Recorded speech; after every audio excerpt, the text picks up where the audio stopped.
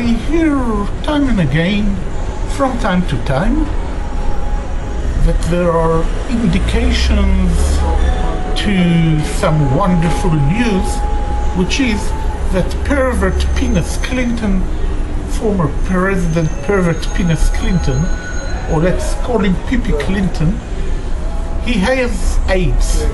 Wow, that's uh, very serious. Yes.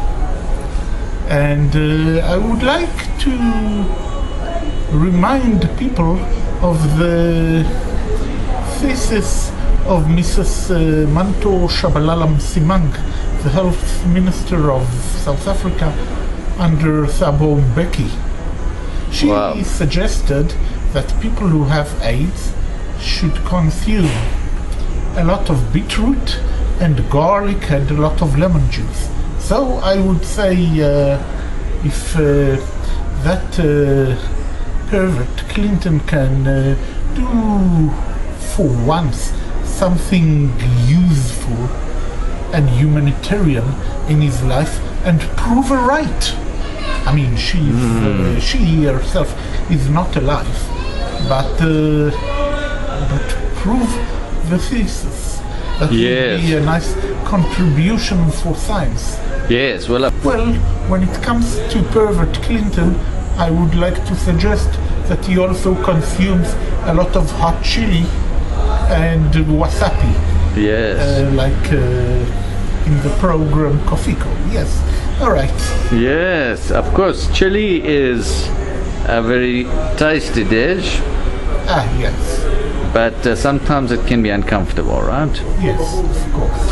And tell me, Avna, what about um, Britain leaving the European Union? Do you think it's good or not good? Yes, it's wonderful, and Israel should follow that example and stop uh, mooching on the United States as well. Really? Yes. And um, what about Trump and Clinton? Who who is the favorite now? Of course, uh, well, I wish, I pray that Trump would become president and uh, that Hillary Rotten Clinton and Idi Amin Obama and uh, everybody else who who should go to prison would find themselves in the places where they belong, which is in prison. And um, what else would you like to say? Ah, yes, speaking about Trump, Trump said he would uh, also imprison Robert Mugabe, which is also cool, and he also belongs in prison. But uh, as I say, if he can do that somehow, I don't know how, then uh, it means that he can have Janusz Walus released from South African prison, which is much better. Wow. Yes, please God. Wow, you actually met with the author of the book Killing. Killing Hani, Hani, or right. Actually, it is to kill Hani. Zabich Haniego. Yes. Tell us a little bit about that. Yes, there is a book about Janusz Walus, which is called Zabich Haniego. Killing Hani. Yes. And um, to kill Hani. to kill Hani. So, of course, we don't. Um, we are just commenting about your meeting with the journalist who wrote this book. How was Yes. that, Avna? Oh, that was nice, but uh, unfortunately, uh, I didn't manage to publish the movie The Good, the Bad, and Mrs. Hani. Uh, Uh, well, some there were actually two people, or at least one movie producer. I think two who would have published it had it been in Polish. wow, because you met with the journalist Yes, and discussed with him your movie, right? right. And as we all know, The Good, the Bad, and Mrs. Hani is now already a famous On- movie on YouTube. Yes. And um, it's a very good movie. It's a political satire. I've watched it.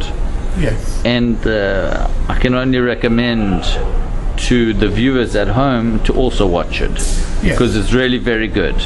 Yes.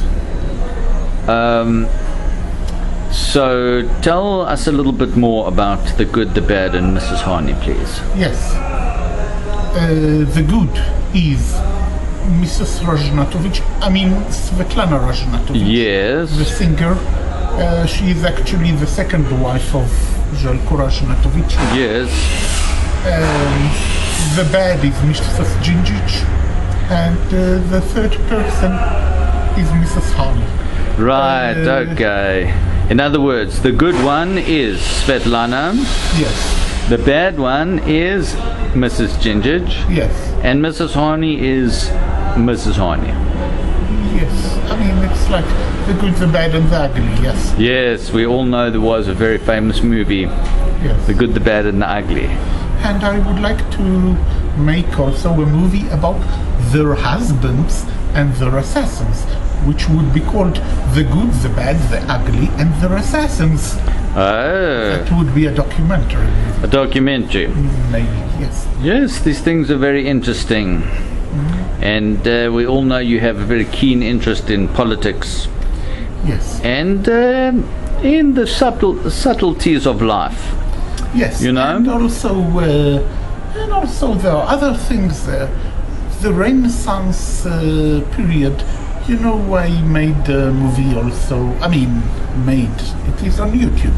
That's right. uh, Dracula's rebirth to the Sleeping Beauty. Yes. Yes, that is a very, very good movie also.